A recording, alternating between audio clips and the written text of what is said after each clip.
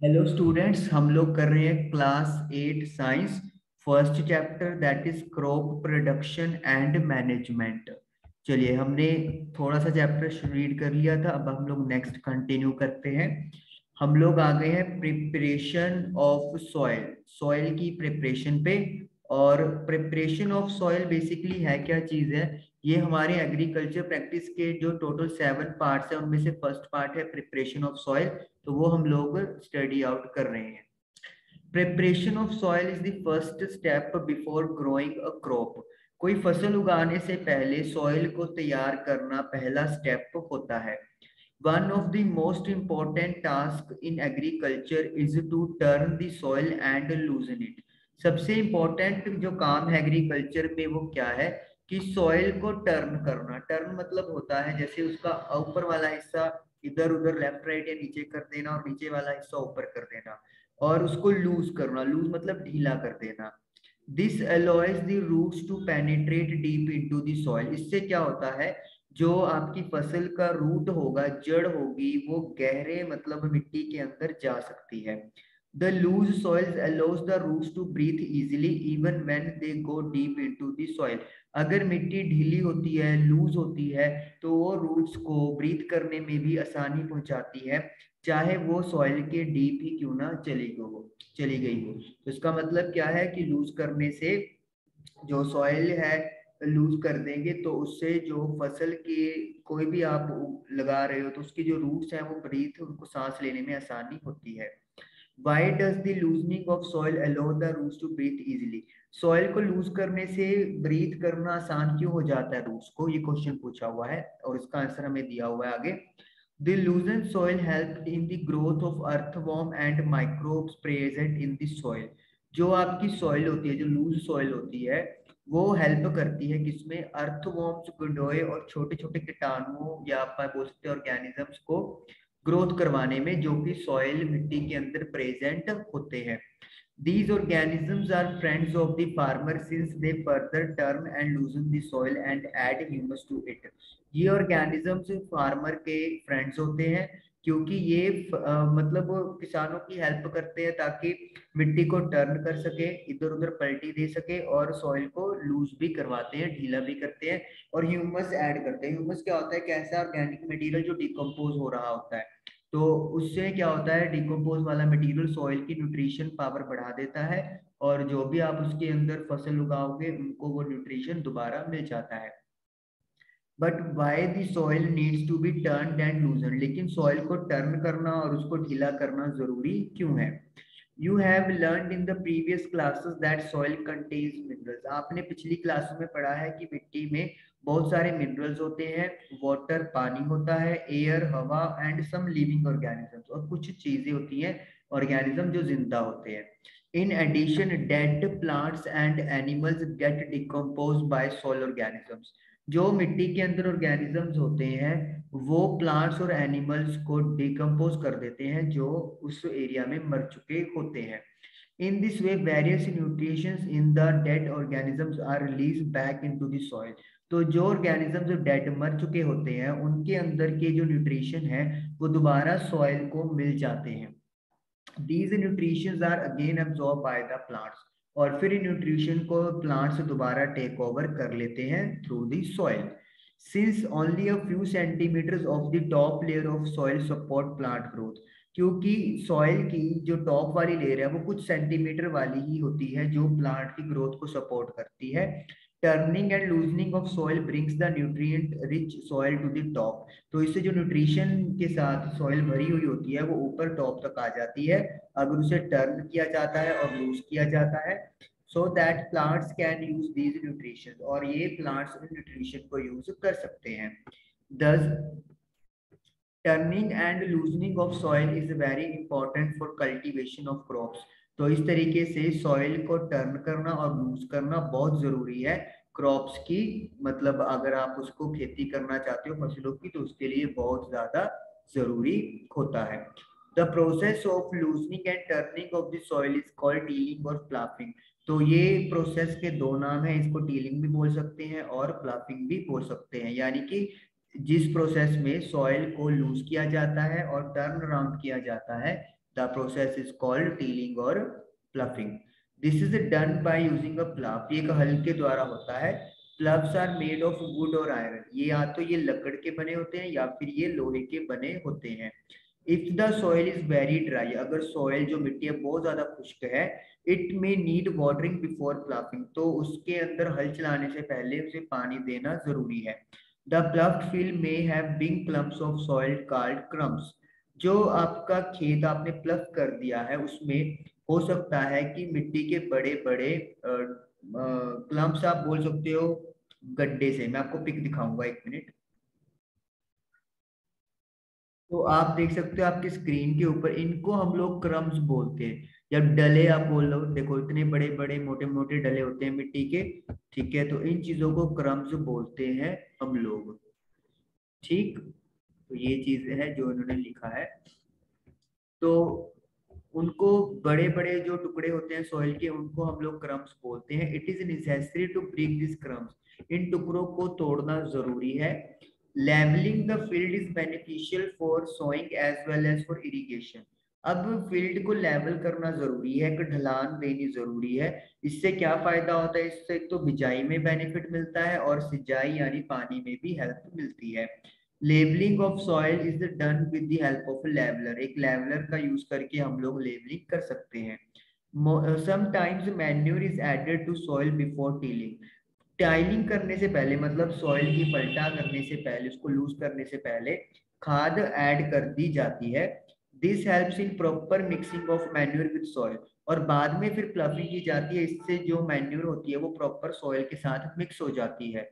The soil is moistened before sowing और मिट्टी को गीला किया जाता है, उसमें कुछ भी उगाने से पहले, बीज डालने से पहले उसे मॉइस्चर यानी पानी दिया जाता है। एग्रीकल्चर इम्प्लीमेंट्स अब एग्रीकल्चर में क्या क्या इम्प्लीमेंट्स किया जाएगा, उसकी बात आएगी।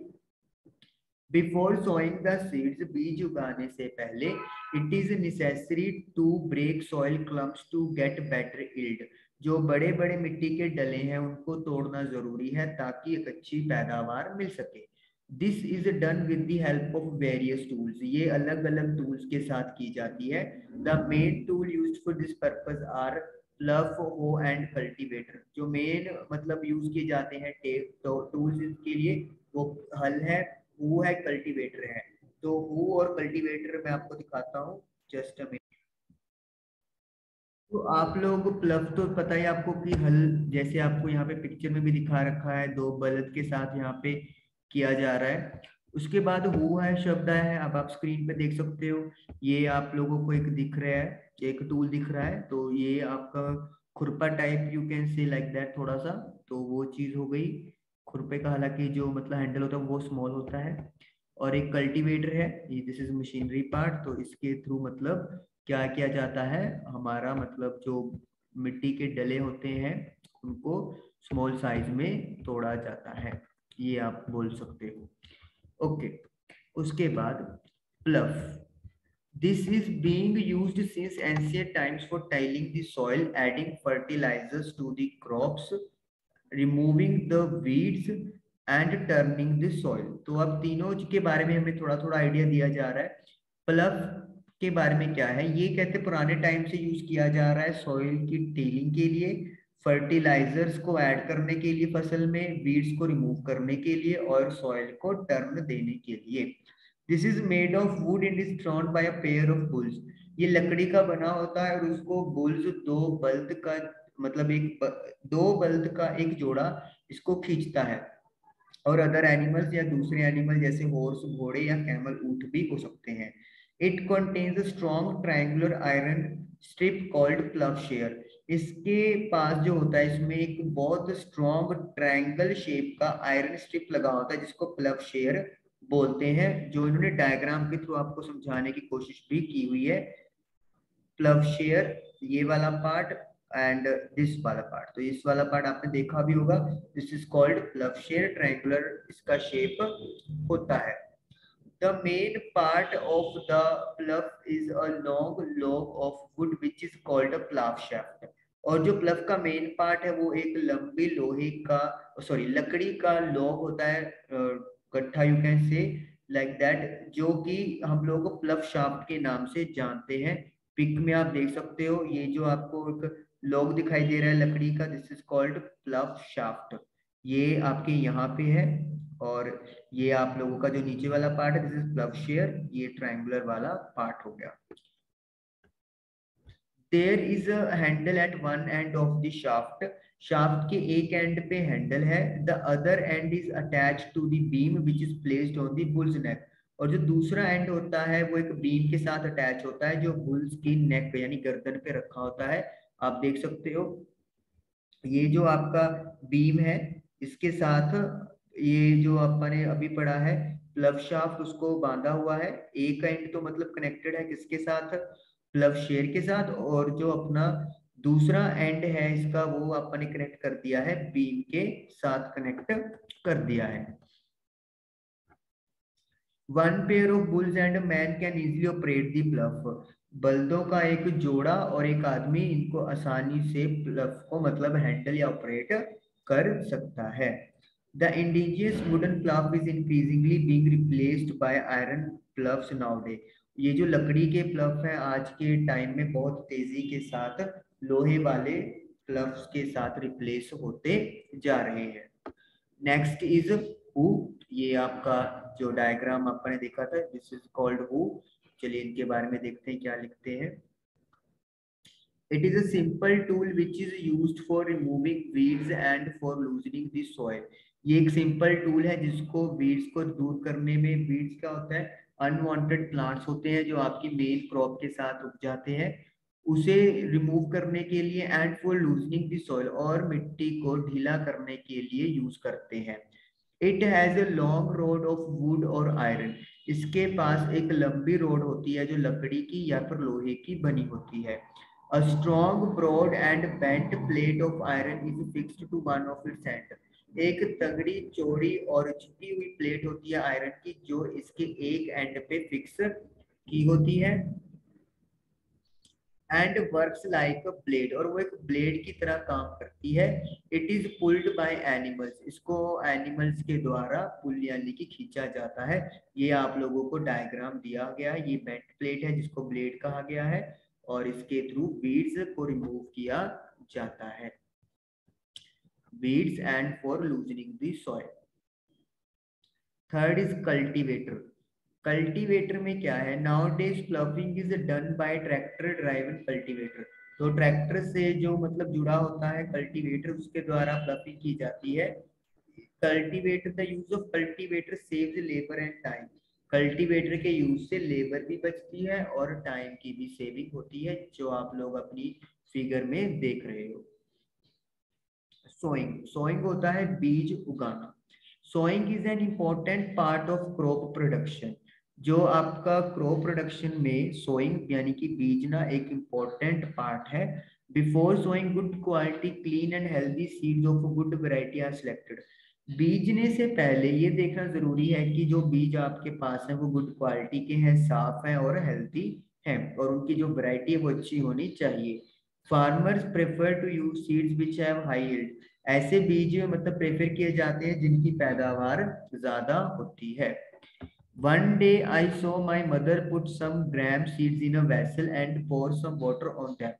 एक दिन देखा कि मेरी माता जी ने कुछ चने के बीज लिए एक वेसल में और कुछ पानी उनके ऊपर डाल दिया। After few minute some seed started to float on top कुछ टाइम के बाद कुछ सीड्स जो थे, वो तैरना शुरू कर देते हैं पानी के ऊपर। I wondered by some seeds float on water मुझे हैरानी है कि कुछ सीड्स पानी के ऊपर क्यों फ्लोट करने शुरू हुए? Take a beaker and half fill of with water एक बीकर ले लें और पानी के साथ इसको आधा भर दे। Put a of beet seeds and stir well अब एक जो कनक के दाने हैं, उसका एक मुट्ठी ले लें एंड इसको अच्छे से हिलाएँ। वेट फॉर सम टाइम कुछ टाइम के लिए वेट करें।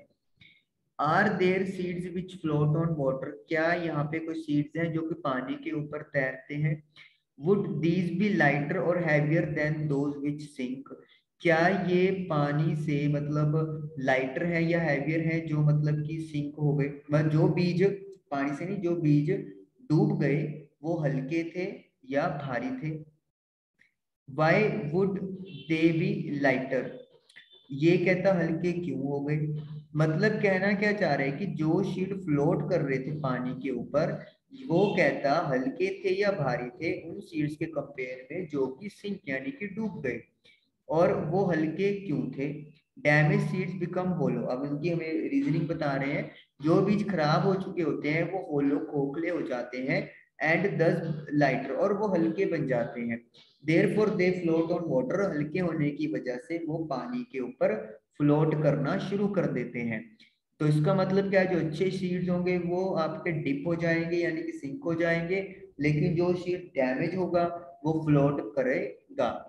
This is a good method for separating good healthy seeds from the damaged one ये एक बहुत अच्छा तरीका है, अच्छे हेल्थी सीड्स को डैमेज सीड से अलग करने का। Before sowing, one of the important tasks is to know about the tools used for sowing seeds. Sowing मतलब बीजने से पहले हमें एक important task करना है कि किन किन tools से हम लोग बीज को बीज सकते हैं। चलिए थोड़ा सा पढ़ते हैं। ट्रेडिशनल टूल पहले पारंपरिक टूल जो मतलब कि नॉर्मली यूज़ करते थे पुराने टाइम में उनकी बात होगी। The tools used traditionally for sowing seeds is shaped like a funnel funnel की तरह शेप होती है और उससे जो है वो बीज को बीजा जाता है फनल जैसे आप देख रहे हो keep type you can say like that also ऐसे होता है। जैसे आप ऑयल वगैरह के लिए भी इसको यूज़ कर सकते हो। The seeds are filled into the funnel, passed down through two or three pipes having sharp. आपको दो से तीन पाइपों से उनको पास करवाना होता है जब वो एक बार फनल के अंदर भर जाते हैं। और उनके जो एंड्स होते हैं, वो शार्प होते हैं मतलब बहुत ज़्यादा नोकीले you can say like that तिखे होते हैं। These ends fires into the soil, ये जो एंड्स होते हैं, तीखे होने की वजह से सॉइल के अंदर मतलब घुस जाते हैं एंड प्लेस सीड्स देयर और वहाँ पे बीज को प्लेस कर देते हैं। सीड ड्रिल अगला है मतलब सीड ड्रिल जो आपके फिगर पे दिखाई हुई है। Nowadays the seed drill is used for sowing with the help of tractor. Seed drill का यूज़ किया जाता है ट्रैक्टर की हेल्प से बीजने के लिए This sows the seeds uniformly at equal distance and depth. ये बीजों को इक्वल डिस्टेंस पे यूनिफॉर्मली और डेप्थ पे भी बीजता है It ensures that seeds gets covered by the soil after sowing. ये इंश्योर करता है कि जो सीड है वो मिट्टी से ढक जाए बीजने के बाद this protect seeds from being eaten by birds इससे जो सीड्स है, वो बर्ड से बच जाते हैं। बीज मतलब जो पंछी है, वो उनको नहीं खा सकते। Sowing by using a seed drill saves times and time and labour अगर हम लोग बीज की हेल्प मतलब सीड ड्रिल की हेल्प से बीजते हैं तो लेबर और टाइम दोनों बच जाते हैं। There is nursery near my school मेरे स्कूल के पास नर्सरी है। I found that little plants were kept in small bags मैंने देखा कि छोटे छोटे प्लांट्स को स्मॉल बैग्स में रखा गया था। Why are they kept like this उनको ऐसे क्यों रखा गया? Seeds of few plants such as paddy are first grown in nursery कुछ प्लांट्स के जो सीड्स होते हैं, जैसे कि पैडी हो गया, वो पहले नर्सरी में ग्रोथ कराए जाते हैं। When they grow into seedling जब वो यंग प्लांट में कन्वर्ट हो जाते हैं they are transplant to the field manually फिर उनको खेत में ट्रांसप्लांट यानी कि वहाँ पे उनको कर दिया जाता है transfer some forest plants and flowering plants are also grown in the nursery कुछ जो पौधे हैं प्लांट्स एंड फ्लावरिंग प्लांट्स उनको नर्सरी में ही उगाया जाता है. Appropriate distance between the seeds is necessary to avoid overcrowding of plants. बीज के बीच में डिस्टेंस होना बहुत ज़रूरी है ताकि प्लांट्स की ओवर क्राउडिंग यानी कि कि उनके बीच अगर गैप कम होगा तो इससे क्या होगा, उनको जो न्यूट्रिशन है वो प्रॉपरली नहीं मिल पाएगा। This allows plants to get sufficient sunlight, nutrition and water from the soil. अगर डिस्टेंस अप्रोप्रिएट होगा तो इससे उनको सनलाइट भी प्रॉपर मिलेगी न्यूट्रिशन भी प्रॉपर मिलेगा और वाटर भी प्रॉपर मिलेगा सॉइल से। At times of few plants may have to be remove to prevent overcrowding. कई बार क्या होता है कि कुछ प्लांट्स को रिमूव भी करना पड़ता है ताकि ओवरक्राउडिंग ना हो सके। तो यहाँ तक हम लोग अपना आज का सेशन ओवर करते हैं।